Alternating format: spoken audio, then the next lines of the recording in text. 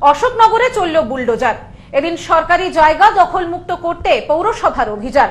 এদিন অশোকনগরের দশ নম্বর ওয়ার্ডে চলে দখলমুক্ত অভিযান।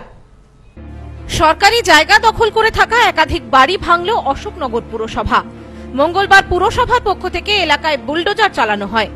মুখ্যমন্ত্রীর নির্দেশের পরে রাজ্য জুড়ে বিভিন্ন জায়গায় যারা সরকারি জায়গা দখল করে রেখেছিলেন, সেই সমস্ত জায়গা দখলমুক্ত করার কাজ চলছে জোর কদমে। মঙ্গলবার অশোকনগর পৌরসভার দশ নম্বর ওয়ার্ডে বিভিন্ন জায়গায় চালানো হয় বুলডোজার। সরকারি জায়গা দখল করে ঘর বানিয়ে রাখা হয়েছিল। পাশাপাশি সরকারি ফাঁকা জায়গায় বাড়ির সামনে দখল করে রাখার অভিযোগ উঠেছিল। এদিন সেই সকল বাড়ি ভেঙে দেওয়া হয়। ভাঙতে নিয়ে আসা হয় বুলডোজার। স্থানীয় বাসিন্দা প্রসেনজিৎ হাজরা বলেন, আমরা সমস্যায় পড়ে সরকারি জমিতে বাড়ি বানিয়েছিলাম। এদিন পুরসভা বাড়ি ভেঙে দেয়। আমরাও এতে হাত লাগাই। নোটিস করা হয়েছিল আমাদের যে পাড়ার কাউন্সিলর সে আমাদের দাদা সে বলে গেছিল। তা সেই কারণেই আজকে ভেঙে দিয়ে যাচ্ছে। অনেক দিন হয়েছে। জানতাম অসুবিধা ছিল বলে করেছিলাম তারপরে এখন তো ভেঙে দিয়ে যাচ্ছে। মানে না সেরকম কোনো ইয়ে ছিল না। না না না না না। বুলডোজার চালাতে হলো না আপনারাই বুলডোজার দিয়েও করছে আমাদেরও লোক আছে তারাও করছে। এ বিষয়ে অশোকনগর পুরসভার পৌরপ্রধান বলেন অষ্টম পৌরসভাতে এর আগে আমার দুটো ওয়ার্ডে তার মানে যাদের ইনভেস্টমেন্ট ছিল যারা ইনভেস্ট করে তাদের সঙ্গে কথা বলে তাদের সাথে আমরা সমর্থ হয়েছিলাম। আজ থেকে দশ পনেরো দিন আগে, দশ নম্বরে আরও পাঁচটা মানে যেখানে দোকান ছিল, বাড়ি ছিল সেই জায়গাকে আমরা পরিষ্কার করে দিয়েছি।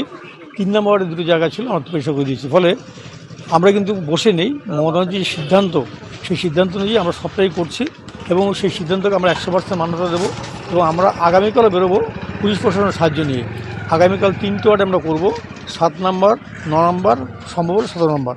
এই তিনটে ওয়ার্ডের জন্য আমরা কালকে প্রস্তুতি নিয়ে যাচ্ছি এবং আমাদের সঙ্গে পুলিশ থাকবে, জেসিবি থাকবে এবং আমাদের যারা কাউন্সিলর তারাও থাকবে এবং এটা মনে করার কোনো কারণে যে আমরা দেরি করেছি, কারণ আমরা আগেই ভাঙিনি।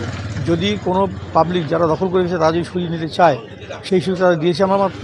তো এর মধ্যে আমরা অলরেডি এর আগে পাঁচটা, দুই সাতটা বাড়ি আমরা পরিষ্কার করে ফেলেছি এবং আজকে দুটো করছি। এবং আপনারা এইটুকু বলতে পারেন নিশ্চয়ই যে আমরা কখনোই সরকারি সিদ্ধান্তের বাইরে যাব না।